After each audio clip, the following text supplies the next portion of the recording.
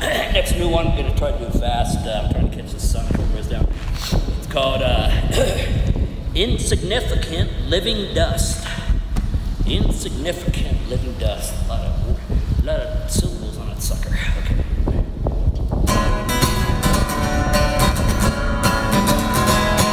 Well, who you gonna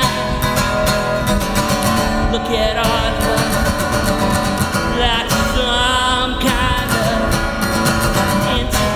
can't live in Dallas. I remember him looking back at